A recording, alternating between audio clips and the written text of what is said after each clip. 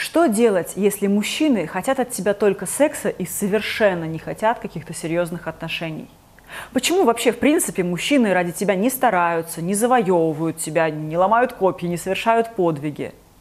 Как из категории вечной любовницы перейти в категорию любимых женщин? Ставьте мне, пожалуйста, лайк, подписывайтесь прямо сейчас на мой канал. Буду учить вас уму-разуму. Сегодня я вам хочу дать три причины, по которым, возможно, мужчины вас воспринимают исключительно как очень удобную девушку, которую можно юзать как угодно и которой они ничем абсолютно не обязаны. И, соответственно, я дам вам три способа изменить эту ситуацию.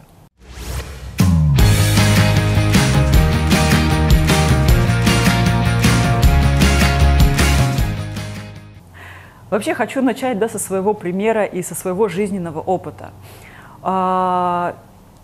Очень много сейчас информации о том, какой должна быть женщина, чтобы она была для серьезных отношений, чтобы она была женщина-жена, чтобы она была достойна там чего-то, кого-то, завоеваний мужских подвигов. Да?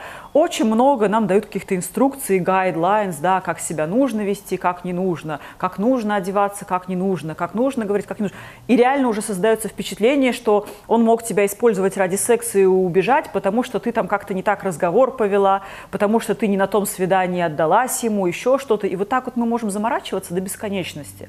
Хотя на самом деле все очень просто. Вот делаю для вас э, мучительное, но признание, что у меня в жизни был один период, когда мне очень не хотелось, чтобы мужчины в меня влюблялись. Для меня это был реальный стресс, реальная травма. Ну, я в своих прошлых видео об этом рассказывала, вы можете посмотреть эти истории. И я просто вот Настолько думала, все, нет, никаких серьезных отношений. Только бы мужчина в меня не влюбился, а то я не смогу ему ответить взаимностью, у меня будет чувство вины. В общем, я была вот настроена прямо противоположно. Все, что угодно, только не серьезные отношения. И я вела себя самым, что ни на есть, худшим образом. Я всячески просто вот делала все, что могла, чтобы мужчины меня воспринимали чисто как легкую такую девушку, свиданки, флирт, секс и не более того. И что вы думаете? Естественно, по закону подлости, чем больше я старалась быть такой вообще легкой, шлюховатой, развеселой, отвязной девчонкой, тем больше мужчины на меня западали, залипали, влюблялись, там, ломали копья и так далее. И я поняла, что на самом деле не твое поведение определяет, будет мужчина тебя завоевывать или нет, а твои мысли и твои установки. Сейчас объясню и сейчас назову вам три причины, по которым, возможно, мужчины вас не завоевывают и не воспринимают вас всерьез. Первая причина, почему мужчины ради вас не стараются, вас не завоевывают, в том, что вы женщина-пудель. Хороший такой милый пуделек. Объясню, что это значит. А, вот есть женщины-хищники, а есть женщины-домашние питомцы. Одни любят свободу, а другие любят, чтобы был хозяин, чтобы был дом, чтобы был поводочек. И вот вы подумайте сами, да, в мире природы, как происходит, на кого ходят охотятся мужчины в лес? На тигров, на кабанов, на волков, на диких зверей. На зверей, которые любят свободу, которые ценят свободу, для которых свобода – это все которые будут до последнего убегать, сопротивляться, потому что, ну, свобода – это их максимальная ценность, да. И, соответственно, вы не найдете в мире ни одного человека, который бы охотился на кошек, на собак, на хомячков домашних, я не знаю, нет таких людей. Почему? Да потому что на них не надо охотиться. Их вот так вот почешешь за ушком, они сами прибегут, и на задние лапки встанут, и залезут к тебе на грудь и будут мурлыкать тебе на ушко. Потому что они домашние, они не убегают, им как бы не цена свобода, им ценен хозяин. Они вот любят, чтобы у них был дом, был поводок, был хозяин. И вот, возможно, вам было очень обидно, когда вы видели, что за какой-то Люськой, которая пухлая, как кабан, со щетиной на ногах, как у кабана, которая вообще ведет себя совершенно непотребным хабальским образом, но даже за ней, например, мужики охотятся и бегают, и что-то там. Может быть, конечно, сомнительного качества мужики, но бегают. А вы такая вся из себя причесанная, красивая, затюнингованная, умная, образованная, интеллигентная, прокачанная сотни тренингов сидите и глухо. Потому что Зинка, пусть она и кабан, но она дикий кабан, она свободолюбивый кабан, она любит свободу, она ценит свою свободу, она ее не променяет просто так, не отдаст за, вот ни за что. А вы пуделек, вы ищете хозяина, вы ищете, кто бы меня взял на поводок, кто бы меня взял домой, кто бы меня выгулил, покормил, поменял мне лоток и так далее. Да? То есть вы домашнее по натуре существо. О чем это говорит?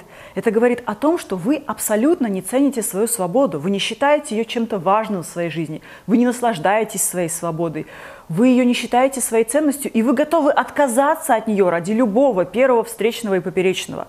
И мужчины это чувствуют. И знаете, что они считывают? Она не ценит свою свободу. Она ценит поводок.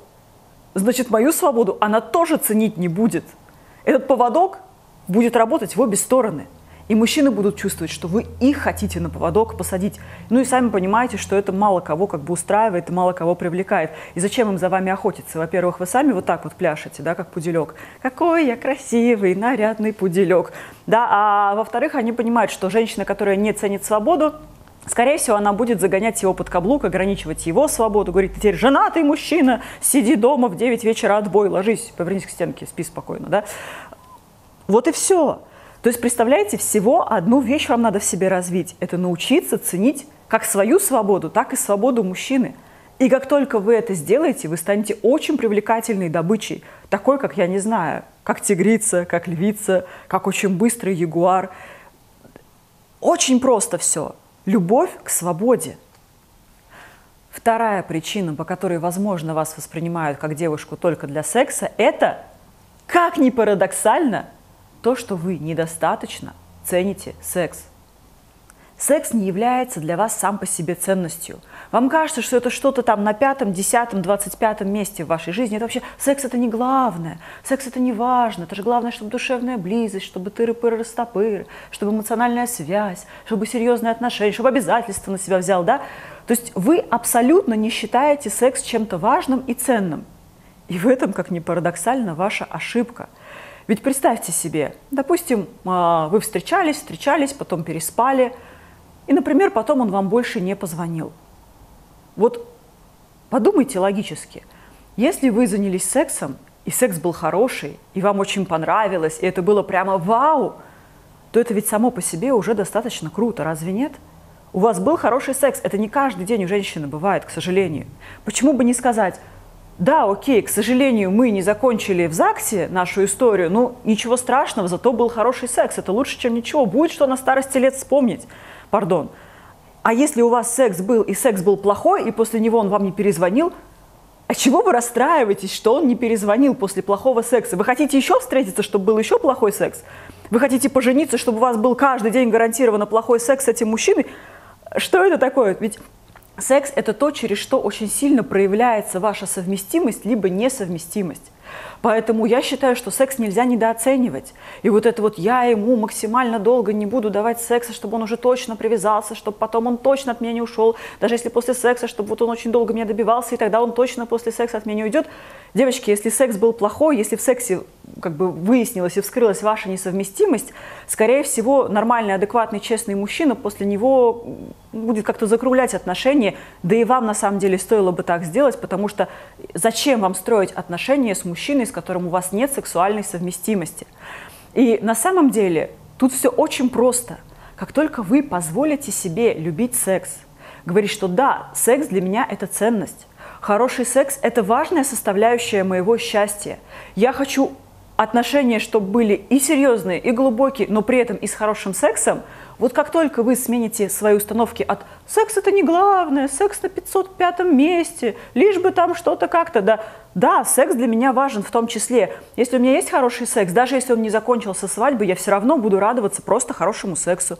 А если у меня был нехороший секс, я сделаю свои выводы и не буду любой ценой протаскивать эти отношения к алтарю, потому что ну, у нас нет базовой там, сексуальной совместимости. Так вот, как только вы научитесь ценить секс, вы поразитесь, но все вот эгоистичные мужчины-пользователи у вас сразу моментально отсеется. Это просто вам говорю на своей практике. Вот у меня сейчас проходил и проходит вебинарный курс «Роковая женщина», где мы 8 уроков да, с девочками пошагово прорабатываем все блоки, все барьеры на пути к счастливым, серьезным, гармоничным отношениям. И на самом деле уже вот на первом же уроке мы с девочками прорабатывали эту тему, тему «Девушка только для секса». И на самом деле девочки просто поразились, как одно простое упражнение, упражнение на развитие нашей чувственности. Когда ты признаешь, что да, я чувственная женщина, да, я имею полное право получать сексуальное удовольствие, да, у меня есть физиологические потребности, и их удовлетворять это просто святое дело на самом-то деле. Это нужно для моего гормонального баланса, здоровья, хорошего настроения. И девчонки просто были в шоке, как вот от одного такого простого переосмысления качественно изменились мужчины вокруг.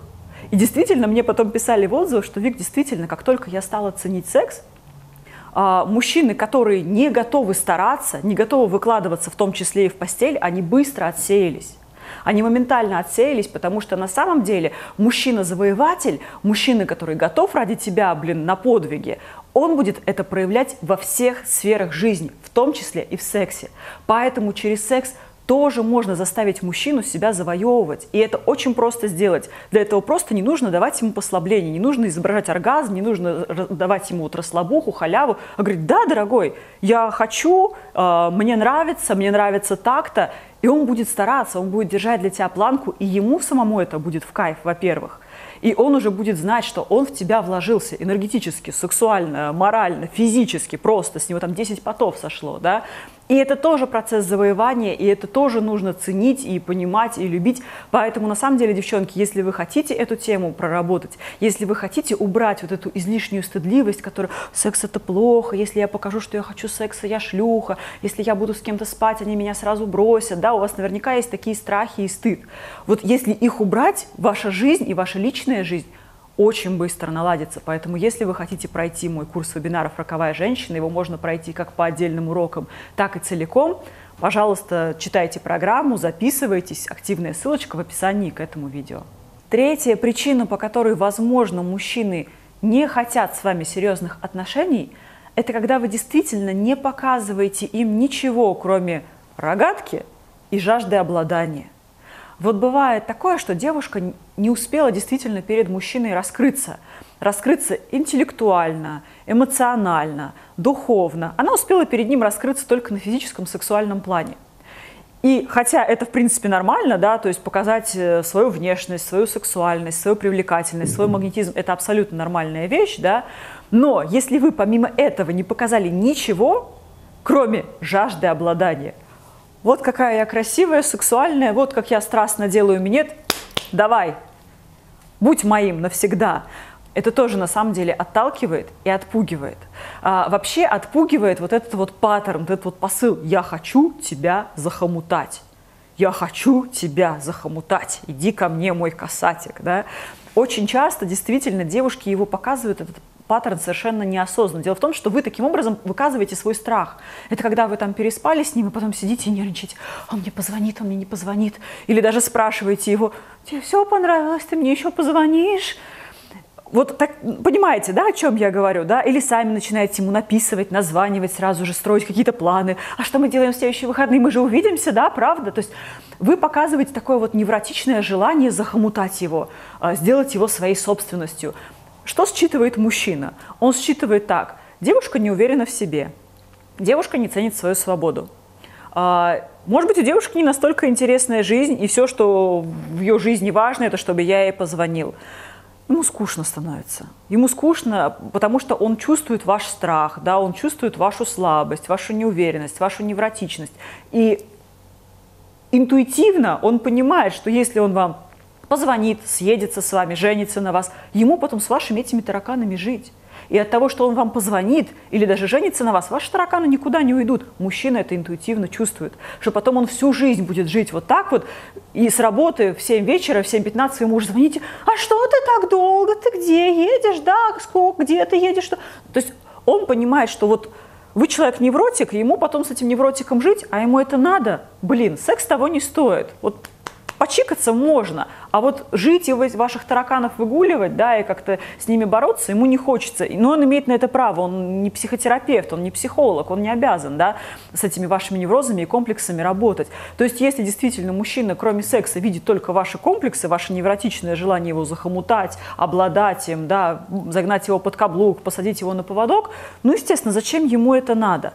Поэтому в этом случае, если вы понимаете, что это ваша история, для вас лучше всего сначала пройти либо психотерапию, либо осознать свои страхи и проработать со своими страхами. Это, как правило, страх одиночества, страх быть брошенной, страх неизвестности, ощущение, что я слабая, беспомощная, что без мужчины я никто, что я ничтожество, да, если у меня нету члена рядом со мной, если э, в моей ванной не стоит вторая зубная щетка, да, что вот женщина, которая не вышла замуж, ничего не добилась. Возможно, у вас есть эти установки, и именно эти установки, а не что-то другое, делают вас вот такой вот не особо-то привлекательной для серьезных отношений.